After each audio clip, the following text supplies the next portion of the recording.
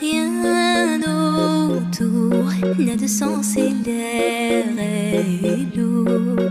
Le regard absent, il est seul et lui parle. Souvent, il, il n'est pas